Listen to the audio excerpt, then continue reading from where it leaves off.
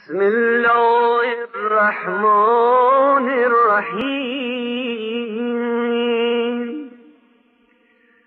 اللهم غرب لي فيه إلى مرضاتك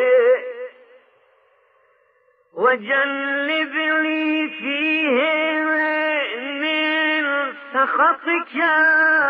ونغماتي ووفق لي فيهن لقراءة